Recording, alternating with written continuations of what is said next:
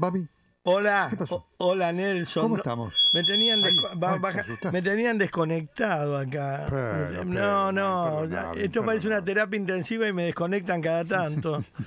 para, para... Qué bueno. ¿Cómo estás, Nelson? Muy bien, qué alegría. ¿Cómo voy a estar hablando contigo? Un gusto. Eh, yo querido. ¿Cómo también. No, el mejor momento de radio de mi vida, eh, de verdad, son estos pases que lindo. Ah, me encanta. No sé si serán mm, muy, muy profundos, pero, pero se hacen con tanta amabilidad y tanto afecto. Tan- por supuesto, querido. ¿Cómo va el día hasta ahora? ¿Cómo fue? Bien, hasta ahora bien, tranquilo. Me Estaba viendo a Trump Bien. en los últimos momentos de la campaña. Se puede decir Sí. cualquier cosa de él, menos que no es inteligente, ¿no? No, es un tipo muy astuto. No. querido. Nadie llega ahí siendo un tonto, por poner una palabra. Pero duplicando, vos sabés que en realidad no sé por qué la otra mujer tiene tantos votos. La verdad que debe merecérselo porque es muy simpática, está bien. Pero Trump es la esencia del yankee. Conflictivo, Sí, sí, mira. patotero, doblando la apuesta, eh, eh, eh, con, viste, con, sacando pecho. Es lo que le gusta a los norteamericanos, no, no entiendo. ¿no? Bueno, a muchos sí. Forma parte, mira, yo viajo el domingo para cubrir las elecciones. Ah, mirá. me va a tocar el, el comando de Trump. Carolina Moroso va a hacer a Kamala Harris. Y voy a decir una cosa muy interesante, porque obviamente yo en los dos años y medio que viví en Estados Unidos tuve la fortuna de viajar por todo Estados Unidos Sí. y vivir en distintas zonas. Es decir, no es que estás... Porque Estados Unidos como la Argentina, una cosa es Buenos Aires, otra cosa es Salta, otra cosa es Santiago del Estero. Trump, yo soy muy crítico de Trump, ¿no? De, de, de- de su vida, de digamos, un hombre condenado, esto, pero representa, vos acabas de decir una cosa muy importante. Uno tiene la idea que el estadounidense, vos es una persona eh, sofisticada, nueva. No, es una persona muy simple, muy simple, Rústica. y tiene esa cosa de que lo que vos decís, yo soy americano, ¿viste? Soy la cosa de que soy yo y todo eso soy yo. Eso es Trump y efectivamente identifica con gran parte de lo que es la ciudadanía de Estados Unidos. Y vos fíjate que no, no- el, el norteamericano eh, no se queja porque su país entró en guerra. No vuela un presidente No, no, no. porque el país entra en guerra. Al contrario, gana las elecciones de nuevo porque ellos creen que hay que conquistar, hay que ir para adelante, hay que ganar la, la bandera, ese nacionalismo. Yo lo admiro. Pero también es lo que vos decís, la gente cree que son todos Brad Pitt, no, son rústicos. Hay un término en el sur de Estados Unidos y también muy al norte, que es nuca roja, ¿no? En inglés. Sí, sí, claro. claro. Lo- los nuca rojas son esos. El trabajador, Oye, pa. de, de fábrica. Claro, además, oye, pa. ¿Viste? Lo- Sí, exacto. la bestia. Pero, pero bueno, qué sé yo, son idiosincrasias totalmente diferentes a la nuestra y no le vayas a tocar a Estados Unidos. No, no, no, por supuesto, por supuesto. Es- No, no, y eso es lo que... Yo, las encuestas están muy parejas. Mi impresión es que las chances de ganar de Trump son altas. Sí, para mí también. Mi impresión, ¿no es cierto? Yo creo que Este, la- es la esencia de Estados Unidos. Y los otros son los latinos en Estados Unidos, que son un porcentaje enorme. Pero el yankee yankee lo ama a Trump. sí, sí, sí, Yo- eh, vamos a ver ahí en, en lo que es ahora sí una involución de las elecciones de los Estados Unidos que ahora demoran tres días en saberse los resultados. Es una cosa increíble. me parece Argentina. Bueno, deben estar cambiando No, sobres eh. como acá, ¿viste? Que se queman las urnas, se pierden, se No, abren. bueno, sabés, el, el otro día encontraron una urna, se le cayó una urna a un camión. Claro.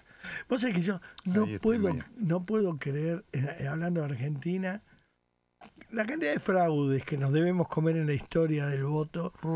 Eh, Viste que se lleva gendarmería a las urnas, las dejan, después las pasan a buscar, después no existen, después están abiertas, hay que votar de nuevo. Es una locura el voto acá, yo no sé por qué Bueno, lo hacen. y, y en algunos lugares como que yo, Formosa, esto, aquello. Olvidate.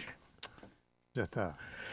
Y bueno, mandan Ya las está. listas. de- Igualmente, a mí eh, en No, Estados por Unidos. eso te digo que el tema de la boleta única de papel es un gran avance que ha hecho, que lo hizo este gobierno, pero es un avance para la República. Pero ¿eh? en una, este chico en ocho meses hizo más que los demás en 40 años ya. Mm. Porque lo hace. No sé si es bueno o es malo, pero lo hace. Este, Ese cambio termina con un montón de cosas de arreglo del voto cadena, todo esto y demás, por lo menos en los niveles de presidente, legisladores nacionales y demás. ¿sí? Mis amigos norteamericanos le dicen Trump. No Trump. En Estados Unidos. Sí, sí, sí, Trump. sí, sí, Trump, Trump, sí, Sí, sí, sí, sí, a mí sí, cuando sí. estaba me empezaban a hablar, dice, ¿qué opinas de Trump? Y de Trump. Y, y le digo, ¿qué, qué trompeta? ¿Qué, qué- qué? No sé, Trump, Trump. Eh, Pero, por ejemplo, en Miami ha- hay mucho latino y lo aman. Lo aman, sí, sí, Miami. la- Yo las últimas encuestas que acabo de ver, ahí gana cómodo, ¿eh? Sí, sí, Sí, sí, sí, realmente. Sí, Eh, sí, es muy sí. importante para nosotros quien gane, porque el destino nuestro está muy pegado a Trump. y, Bueno, obviamente, para mi ley, obviamente, pa- para Macri tenerlo a Trump le salvó todos los préstamos del Fondo Monetario, se los logró Trump, obviamente, ¿no es cierto? eh, eh, eh, salvo que tengamos a la canciller que tuvimos, si empezamos, No, ay, ay, ay. si empezamos a hacer las cosas. Viste que siempre hay uno que hace una macana acá, ¿no?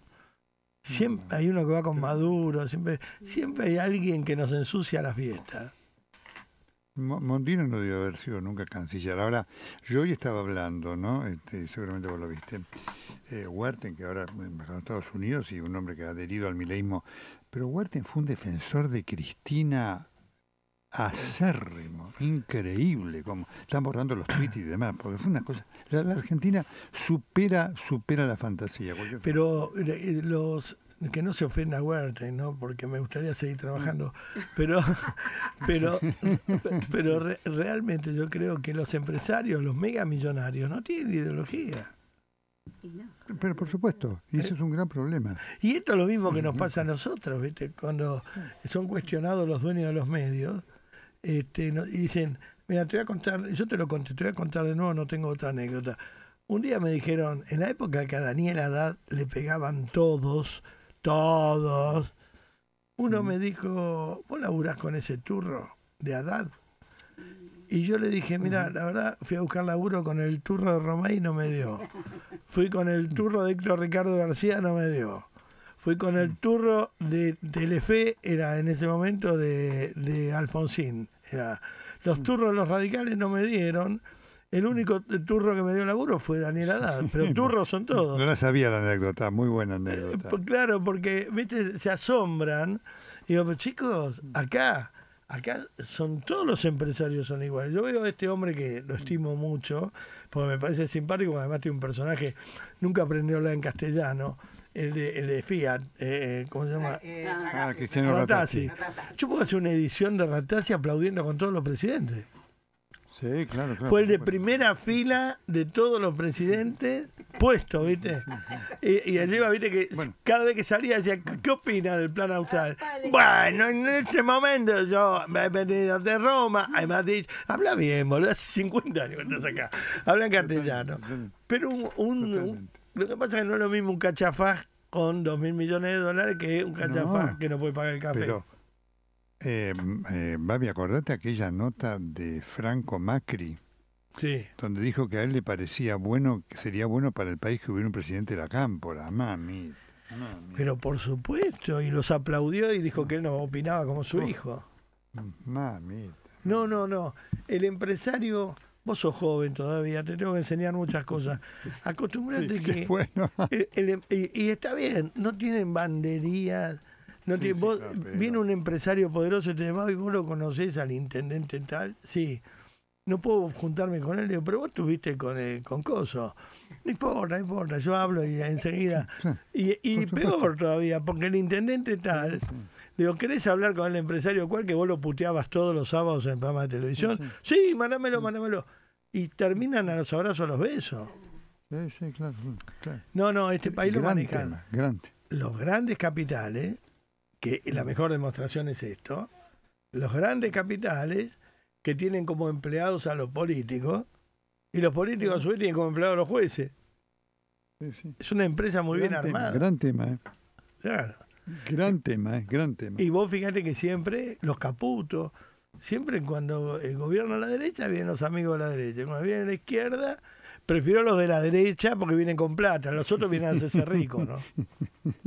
Hasta que aprenden a robar, ya perdiste la vida. Claro, claro.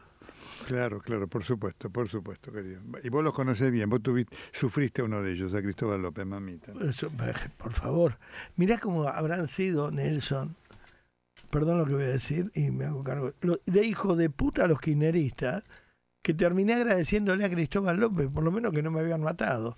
Pero terminás tan sometido que decís, bueno, por lo menos cinco años me pagaron. Claro, no, me pagaron y me pegaron, porque yo corría más rico dentro de la radio, dentro del canal, que, que, en la calle.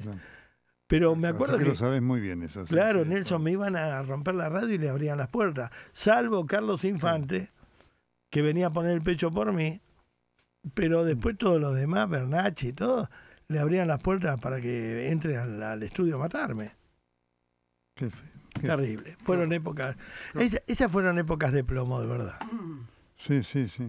Duras, duras. Hoy, hoy, hoy cuestionaban a este chico que le hizo la nota al hermano de Guillermo Franchella, que para mí estuvo mal, mal, muy mal. Pero yo me acordaba de Guasorra, que era el de ellos, el de los kirchneristas. Sí, claro, claro, claro.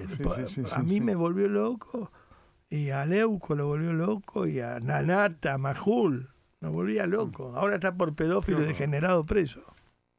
Qué horror, qué horror, ¿viste? ¿Viste? Qué horror. Bueno, Nelson, te dejo. con mucho dolor. con vos, te dejo. Vamos con todo. Sea, que gran programa como siempre, David. Cualquier duda que tengas, llámame a la hora que sea. Pero por supuesto, eh, lo tengo presente. Un abrazo grande. Buen programa. Sigan con más bien Rivadavia. Chau, chau, chau.